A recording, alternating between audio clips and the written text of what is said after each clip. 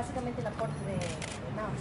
Bueno, el principio establece que él es una parte final del comité y realmente que sí se entregó eh, el informe al expresidente Rafael Correa. Esa es la primera parte, que sí se lo hizo en forma física y que él conoció realmente de lo que contenía ese informe. La segunda parte importante que manifiesta es de que eh, dentro de esto realmente la conformación la tenían varios ministerios, dio el nombre de todos los ministros y los periodos en los que estuvieron, de la información que tenía.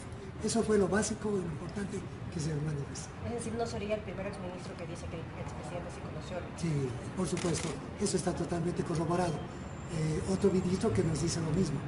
Por eso hay que insistir que la Fiscalía llame al expresidente eh, Rafael Correa para que, que se exprese justamente dando puntos concretos desde la intervención, de- desde la constitución del comité, por qué lo constituyó el comité, por qué dejó a la Fiscalía a un lado de más, porque la Fiscalía tenía que